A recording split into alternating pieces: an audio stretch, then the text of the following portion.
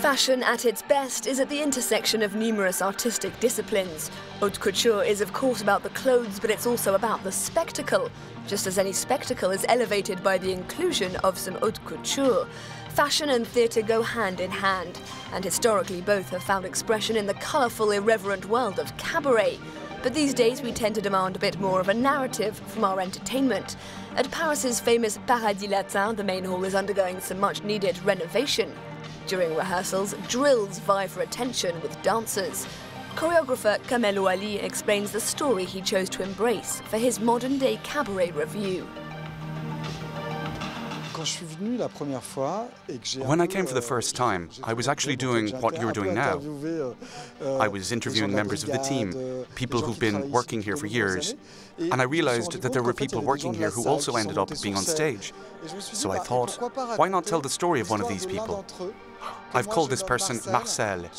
He's part of the theater's team of waiters, and he has this dream of being on stage. So, in this sort of dream sequence, he's carried onto stage by his colleagues. It's a version of the American dream in a way, being able one day to walk the boards. Whether the dream specifically American or not, many secretly harbour a desire to someday bask in the spotlight. Kamel Ouali recruited a former Miss France and Miss Universe, Iris Mittenaere, to help him realise his vision. Originally, I wasn't a singer and I wasn't a dancer. It wasn't what I did, so I spent a lot of time training. And yes, it's been a real new challenge. It's important to me. I want to do it well, and it certainly wasn't easy to begin with. What's the hardest part? The hardest bit was combining the singing and the dancing. Singing on its own, that I can do. Dancing on stage is also doable for me, but as soon as it's both together, there's so much going on, so many things to think of, and it all kind of accumulates, and you get out of breath very quickly. But it's also a challenge to stay concentrated, and that goes for maintaining a sense of purpose too. You need to believe in your part, sing well and dance well too. For the costumes, Kamel Ouali chose to work with Livia Stoyanova and Yassen Samuilov, the duo behind the Parisian haute couture label On Vu. More used to dressing the likes of Lady Gaga and Nicki Minaj, they're also partial to dressing for the stage. In 2014, they created outfits for a postmodern nutcracker, choreographed by the Belgian Jeroen Verbruggen. For the Paradis Latin, they only had two and a half months to create 330 costumes that need to last a full five years. The costumes need to be spectacular, but at the same time, they're not meant to be a disguise. The costume should be able to add something. What was important for us was that each dancer was able to make their costume their own, in order to really be able to express themselves. This isn't a cabaret where the women just parade around, they're applauded for doing pretty movements and being attractive. No, this is real dance. There's movement, there's doing floor work, there's jumping, carrying each other. For two hours solid, they don't stop. Il s'arrête pas. Je vous donne rendez-vous au-dessus des étoiles, vos rêves les plus fous.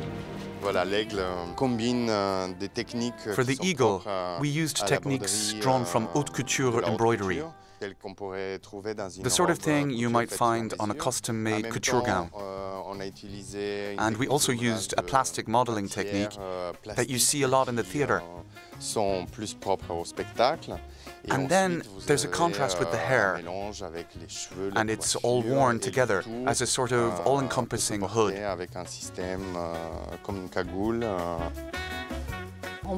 We don't embroider in the traditional way. We use cobbler's thread, which is much tougher. It's almost the sort of thing you'd use to sew shoes together. You need to double it up. It needs to be solid. Some elements are stuck together and then sewn.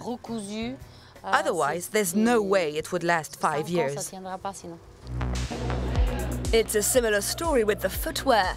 Shoes need to look great, but they also need to be comfortable, safe and hard-wearing. Maison Clairvoy is a Paris-based shoemaker specialised in the theatre. They've made over 200 pairs of shoes for the show. This is the Salomé sandal.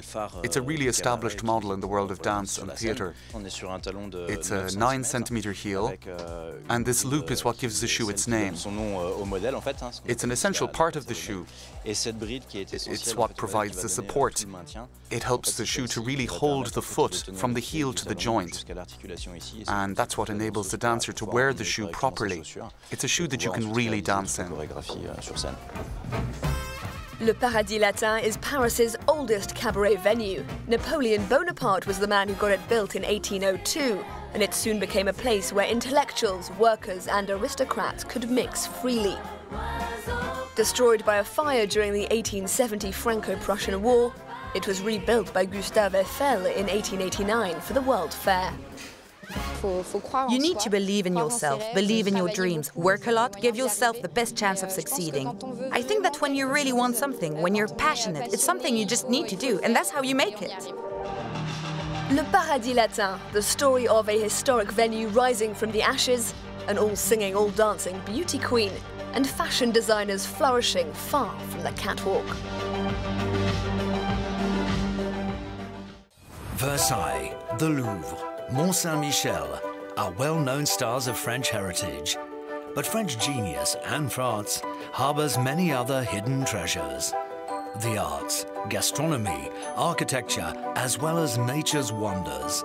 Come along with France 24, discover France's living heritage. From young apprentices to accomplished craftsmen and farmers, Michelin star sporting chefs, meet these people whose passion for their professions preserve and drive French heritage. You are here on France 24 and France24.com.